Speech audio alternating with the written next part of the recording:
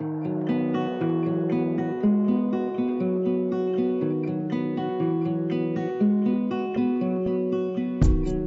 wanna set the world on fire until it's burning.